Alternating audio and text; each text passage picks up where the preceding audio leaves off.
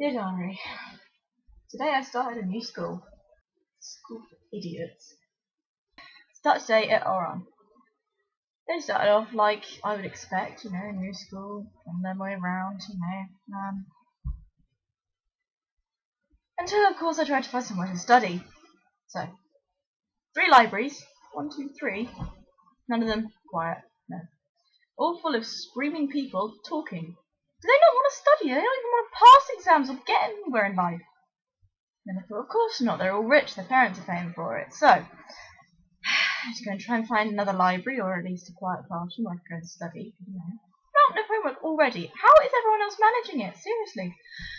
Anyway, so off I went. Um, none of the classrooms are free. Obviously, all being used by people talking. So, I decided to wander around the um, around the campus for a bit. I got to um, one of the corridors, I may have gotten slightly lost. I ended up outside the third music room. That's where it all started. Um, so, well, music room, couldn't ask for quiet, there's no music coming out, they're not in use. So I, you know, I was going to go in there, just sit down, read for a bit, you know, I just sit in the corner and read my textbooks. Fine, no problem. How wrong I was. So, I opened the door to this music room, and in there was oh, something. It's embarrassing to even say it. It was a host club. That's right, a high school host club. What the hell? So I opened the door, and there were all these boys sitting in there it's a male hospital. So, in the centre we had a very lanky blonde who looked like something out of a fairy tale, but with a brain. Next to him we had some very crazy guy with dark hair and glasses and a little folder writing away and oh, probably his friend. Next to him were two twins with red hair who looked very evil, like they were going to do something or like they had already done something. They terrified me. And on the side of the uh, the guy with the glasses was a really, really tall guy with dark hair, very stoic expression, but really quiet. And on his shoulders was a tiny little kid, blonde. He must have been about ten. I don't know why he was in a high school and why he was wearing this uniform, but you know, whatever. So anyway, I got into this host club. Um, things happened, and they mistook me for a boy. They thought I was male and they assumed that since I was male and in a host club that I was that persuasion. So anyway, the blonde guy got up, started talking to me. You know, really, really coming on to me. It was a bit scary, you know, he was touching me. Mm. It was far too cheesy for me, I gotta say. I just I didn't know what to do you know, it's a host club. You don't see them every day. It's a bit of a weird sort of phenomenon to be happening to you. Anyway, so I'm saying all the stuff I was trying to get out, obviously, just trying to tell you, you know, I was somewhere to study. So I tried to get out of the classroom, but for some reason my legs had stopped working, so I fell backwards. Now, in a music room that is so unbelievably expansive and gigantic and empty, apart from these people, they sure can place their jars very, very effectively. Now, blacked out by this point, or I just tried to erase things from my memory, but basically the jar went flying,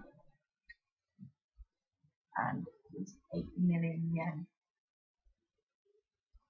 8 million.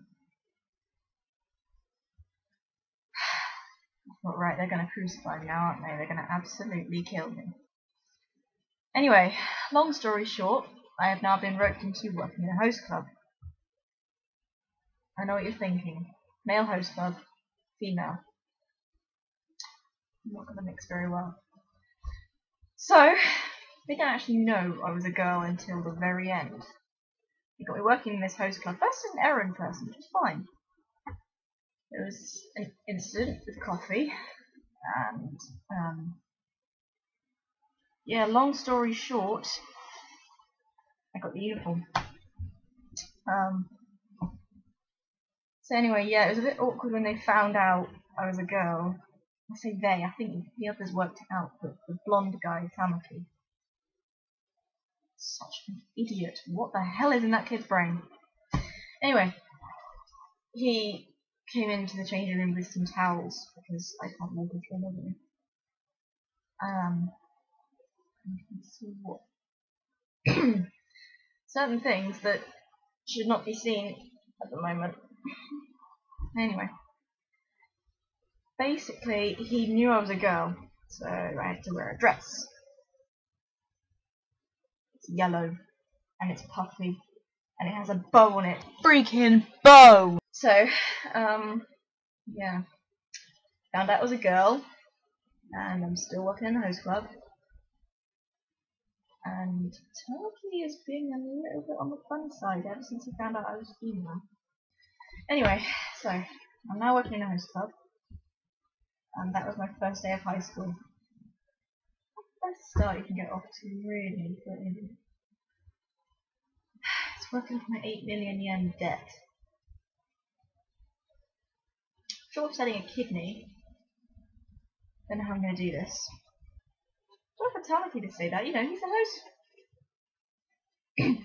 he's the one that runs it, sort of. Um, you know, it's easy for him to get customers. Come on, here I'm a girl. Except they don't actually know that, so, uh, yeah, they got me all dressed up like this. They then gave me contacts, although I have had them before. I've had contact lenses in my life, but I lost the first pair, so I'm sticking with these glasses. However, time decided that didn't look good enough, so I went with the glasses and gave me things to stick in my eyes. He's obsessed with the commoners. He's obsessed with anything to do with people that are of a lower status than he is. Instant coffee, ramen, anything like that. He's trying to learn it all from me. I don't know what the hell he expects me to teach him. Rich jerk. I don't know what's going to happen tomorrow in regards to my senpai. But suffice to say, it's not going to be good. Anyway, that's it really today. Oh, and yeah, that, the bag. That's what Tamaki did. He put those flowers in my bag. He has some kind of stupid idea that all hosts have to have roses on them at all times, so he managed to track down my school bag after it was thrown in a pond, and then stuff it full of roses. Roses. What is the point? They look nice. They're completely useless, just like him. No point, no purpose, no nothing. Anyway, he has now filled my bag with roses, and he is being a little bit on the creepy side, I have to say. Sexual harassment at its best, or worse in this case. He seems to think that I'm his daughter. He calls himself Daddy. That's really creepy, bearing in mind he's only a few years older than me. So, not quite sure how to respond to that. I've now got to deal with that jackass for another couple of years. And his insane French psychobabble. And the fact that he is just so unbelievably hyperactive.